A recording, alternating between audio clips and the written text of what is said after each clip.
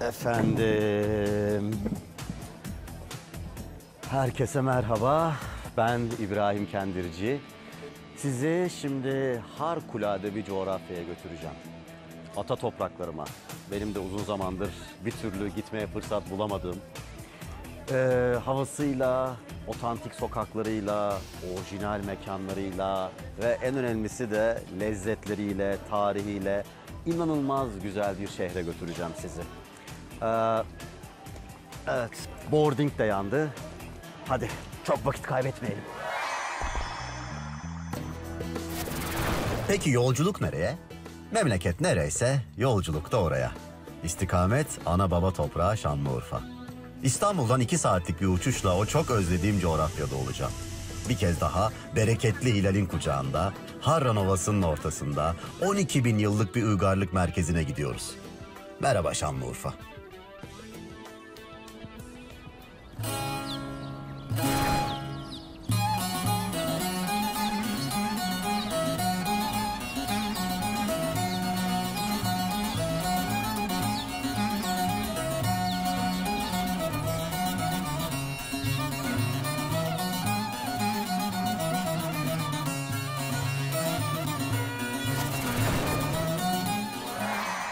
An benim için çok romantik bir yerdeyiz. Çok mistik bir yerdeyiz. Ailemin doğduğu topraklardayım. Urfa'da. Benim için neden burası çok romantik? Çünkü hani annemin babamın doğduğu yerleri bu yaşımda bu tecrübemle geziyor olmak beni heyecanlandırıyor tabii ki. Onun mutluluğu içindeyim şu anda. Ee, 2015 yılında Urfa'da bulunmuştum yine ama bir film çekimi için buradaydım o zaman. Yoğun e, set trafiğinden, yoğun set programından dolayı çok bir gezme şansı, tadını çıkarma şansı elde edememiştim. Bu sefer efendim tabiri caizse bunun acısını çıkaracağım, dibine kadar gezeceğim. Ee, güzel lezzetlerini tadacağım Urfa'nın. Ee, harikulade, orijinal, mistik e, mekanlarına gideceğim, oraları gezeceğim. Buna siz de benimle birlikte şahitlik ederseniz tabii ki çok keyifli ve güzel bir anı olabilir benim için. Ee, bence çok fazla konuşmaya gerek yok. Siz biraz manzaraya bakın. Ben çarşıya doğru yol almaya başlıyorum bile. Görüşürüz.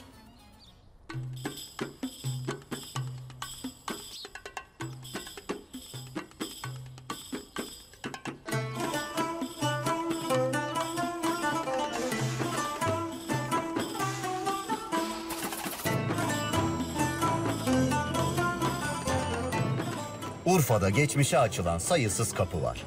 Bugünün nabzını tutmak içinse tek adres çarşı. Seslerini, renklerini, kokusunu ve elbette lezzetlerini çok özlediğim o cap canlı çarşı.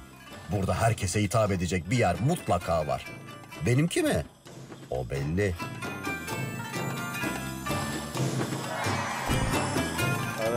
İbrahim abi geldin bile. Abi hoş geldiniz. Vallahi Urfa'ya gelip sana uğramamak olmaz. Hoş geldiniz. Şeref verdiniz. Kahvaltımı yapamadım. Abi Urfa'ya geldim sana uğramadan. Hoş geldiniz. diyorsun, Hoş bulduk. Ben ciğerlerimi alıyorum. Al abim. Hoppa. Efendim bir kahvaltımızı yapalım ya. Abi ben ciğerimi biliyorsun. Buraya geldiğimi kendim pişiririm. Pişir abi. Yani- Afiyet olsun. İbrahim Usta'dan daha iyi yaptığım için.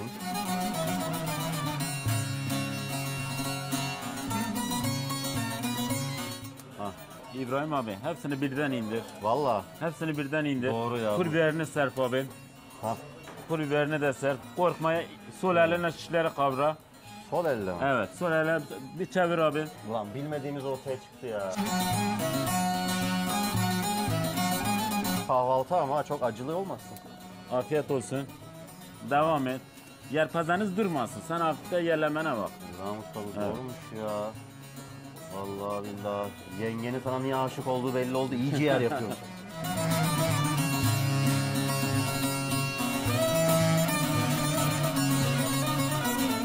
Urfalı başak mı olur? Taze soğan da doğruyoruz. Tamam. Ha. Hop bir de çevirelim.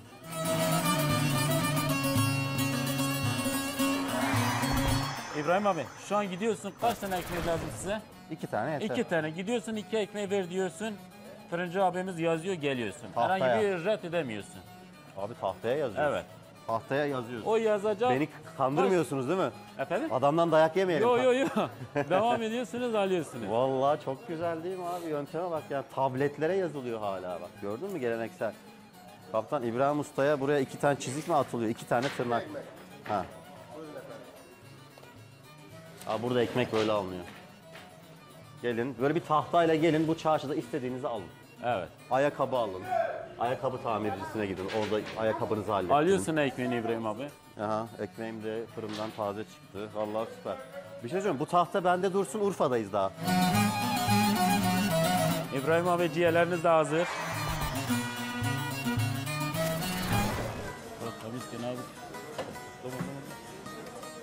Günün ilk öğünü hayırlı olsun. Valla kendim yaptım diye demiyorum. Babam benimle gurur duyacak yani. Oğlum diyecek şimdi tam Urfalı oldum diyecek. Ciğer yaptım abi daha ne yapayım? Ulan bu da harika ya.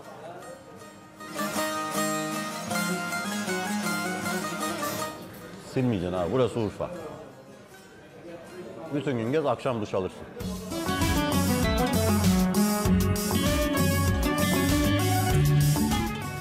Kahvaltıyı yaptık. Şimdi yakalım birazcık ha, yürüyelim.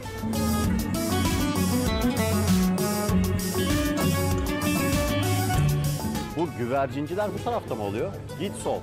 Sağ olun, kolay gelsin. Sol. Tamam, hayırlı işler.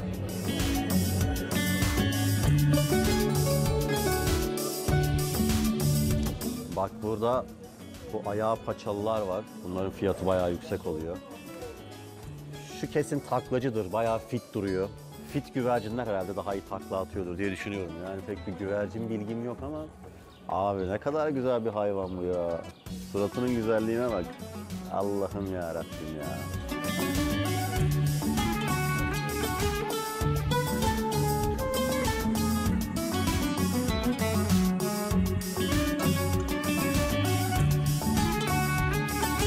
Efendim salebimizi de içelim. Urfa'ya indiğimde 75 kiloydum. Döndüğümde bir tartılayım bakın. Yolda yürürken bile hemen bir kalori buluyorsun, bir salep alıyorsun. Afiyet olsun.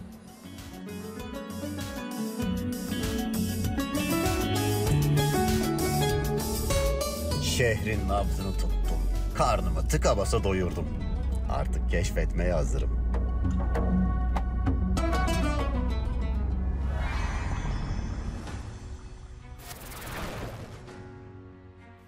Şehirden yaklaşık 20 kilometre doğuya, tarihin sıfır noktasına gidiyorum.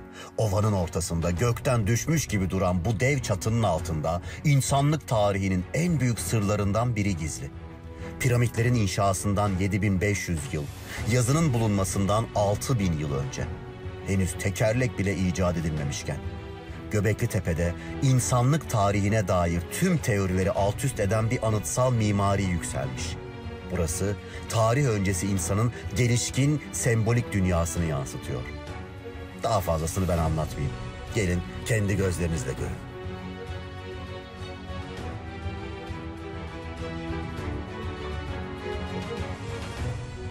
Bir de burada hani yaz aylarında günde yaklaşık 5-6 bin ziyaretçi ağırlanıyormuş. Muazzam bir rakam değil mi yani bu? Ülke turizmi açısından Şanlıurfa'mızın iç turizmi, dış turizminin buraya olan desteği açısından gerçekten yani memleketim adına gurur verici bir şey.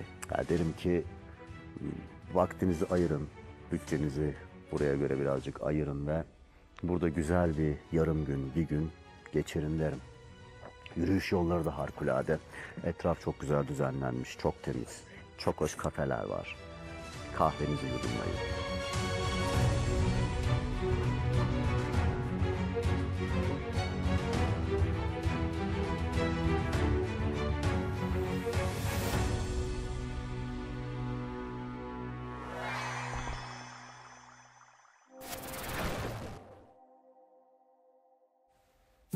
Şanlıurfa denince şıp diye akla gelen sembolik bir yer daha var. Harran. Bu kez 60 kilometre güneye gidiyorum. Dünyanın ilk üniversitesine ev sahipliği yapan bölge. Tarihin ilk bilim merkezlerinden biri. Harran Ovası'nın ortasındaki bu kadim yerleşim yeri arı kovanını andıran evleriyle ünlü. E tabii şimdi anne baba topraklarına gelip, ata topraklarıma gelip buranın en orijinal yapıları olan Harran evlerini görmemek olmazdı. Yıllar evvel bir görmüştüm. Şimdi yeniden gördüm ve sürekli büyülenmek gerçekten insanın hoşuna gidiyor. Ee, bu Harran evleri birbirine yapışık kubbeler halinde e, inşa ediliyor ve bu odaların birbiriyle olan bağlantıları da var tabii içeride. Odadan odaya geçiş yapabiliyorsunuz.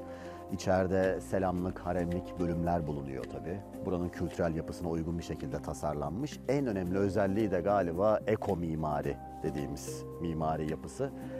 Yazın içinde oldukça serin bir şekilde, kışın içinde oldukça ılık ve sıcak bir şekilde rahatlıkla barınabiliyorsunuz. Yapıda çamur, kil, e, yumurta akı, gül yağı gibi karışımlar kullanılıyor. İçinde çok rahat vakit geçirilebiliyor bu sebeple de. Ah, gerçekten harikulade. Bence gelin buraya. Şehrin en çok ziyaret edilen mekanlarından biri de mitolojik Balıklı Göl. Urfa'nın olmazsa olmazı. Bütün misak-ı milli sınırları içinde iznimiz de var. Güzel coğrafyamızda harikulade mekanlarımız da var. Sıkıntı olmaz yani. Şu an en güzellerinden biri Urfa. Balıklı Göl.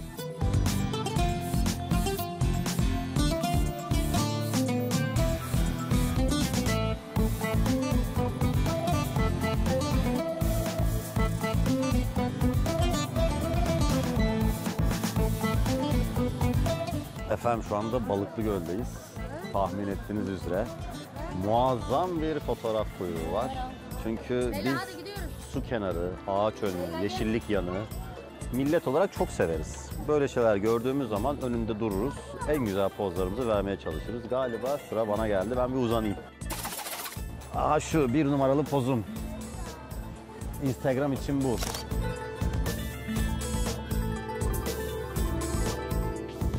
Facebook için bu. Ama vallahi yemin ediyorum şöyle bir Urfalı olarak sesim güzel olsun isterdim. Tek eksiğim o bence. Bana şey de diyorlar gerçi tipin de pek benzemiyor falan diyorlar ya sen böyle Urfalı değilsindir ya falan illa kimlik göstertiyorlar. Bunu kanıtlamak için size türkü okuyayım diyorum. Onu da okuyamıyorum. Ben mırıldanabiliyorum sadece. O da tek başımayken, evdeyken ya da araba kullanırken trafikte.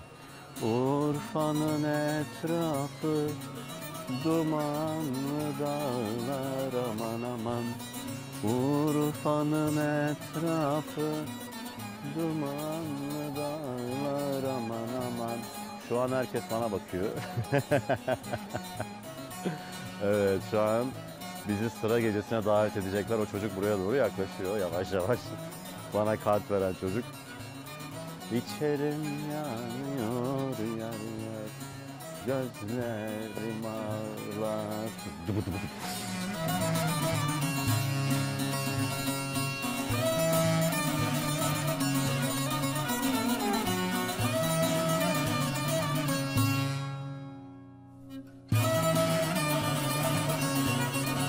Burada da yöresel kostümler giyip istediğiniz karaktere bürünüp sırtınıza balıklı gölü alıp her şeyi yapabiliyorsunuz.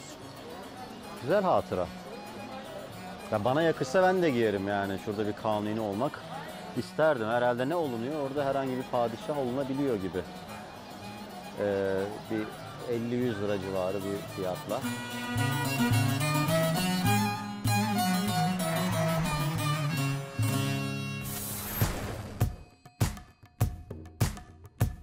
Yöresel kıyafetleri turistlere bırakalım, gelin biz yöresel ziyafetlere akalım. Benim için bunların arasında biri var ki yeri apayrı. Ya şimdi en sevdiğim şeylerden biri. Bütün gün gezdim, tozdum. Gerçekten çok yoruldum. Ben sıra gecesine geçmeden önce vallahi şurada bir künefemi yerim abi. Urfa'ya gelmişim. Anamı babamı özlemişim. Gerçi onlar Antalya'da ama Urfa'da az yaşamamışlar. Hazırlanıyor benimki galiba. Buraya sipariş vermeye bile gerek yok. Yani müşterinin tipine bakıyorlar. Bu nasıl yer, bu nasıl içer anlıyorlar. Şimdi hazırlarlar benimki. Makasla kesiyor. Ben Başak Burcu'yum. Santim santim, metre metre önem veririm yani böyle şeylere. İki katman tel kadayıf hamuru arasına Urfa peyniri.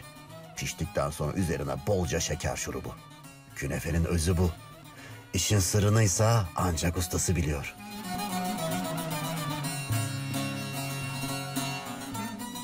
Wow, işte şimdi aynı dili konuşabiliriz. Vallahi. Efendim elinize sağlık. Gençler bak bunu yediğiniz zaman şiveli konuşma ihtimaliniz çok yüksek. Aşırı yöresel, geleneksel bir tatlı çünkü. Yemin ediyorum hani ekranda böyle şeyler yapmayı sevmem ama Urfa'da olan Urfa'da kalır diyelim.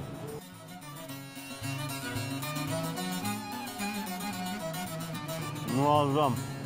Bunu bitirirsem İbrahim Tatlıses'ten bir türkü okurum gibime geliyor. Sesim kesin yanıklaşır. Şu şerbet ses, ses, ses tellerine çok iyi geliyor. Bence. Hmm. Süper. Elinize sağlık.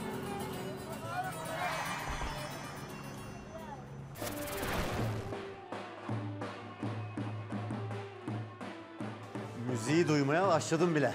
Galiba ufak ufak siz de müziği duyuyorsunuz. Urfa'nın artık adıyla beraber anılan kültürünün en önemli gecelerinden sıra geceleri. Gel. Sıra gezmek. Urfalıların tüm canlılığıyla sürdürdüğü geleneklerden biri.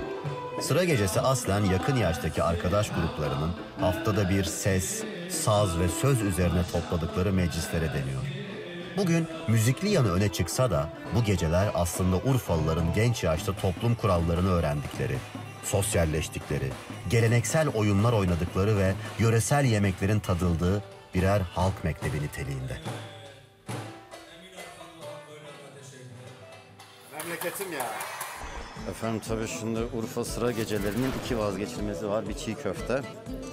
Bir de bence benim en sevdiğim patlıcan kebabı. Vallahi patlıcanı Urfa'da yiyeceksin. Niye? Bunu böyle yapıyorsun. Tamam mı? Sonra şöyle içi kendi kendine çıkıyor neredeyse bak. Ben tam beceremiyorum ama ben düşünüyorum da biz İstanbul'da deterjan yiyormuşuz. Böyle bir patlıcan yok. Baksanıza şuna. Müthiş. Biraz eğlence, biraz dans. Aç ayı oynamaz misali. Şimdi de bir ufak patlıcan dürümünü hak ettik bence. Urfa'dan uzak kaldığım nasıl belli bak. Dürümü tam yapamıyorum. Babam görse gebertir beni. Annem de. Şöyle patlıcan kebabının arasında pişmiş et ve patlıcan tadı da silmiş buna. O da muhteşem oluyor. Kuru soğan patlıcan kebabının vazgeçilmezi.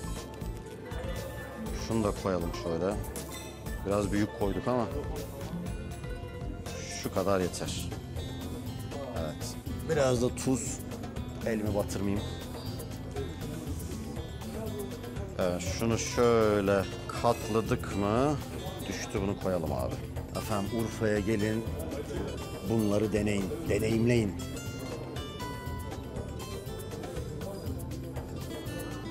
Hmm. Altından suyu akacak. Hmm. Ve tabii ki pişmiş domates. Bayılırım. Nasıl da belli Başak Burcu oldum. Şu tuzluğa bile dokunamıyorum. Benden sonra başka müşteri falan oturur. Ayıp olmaz.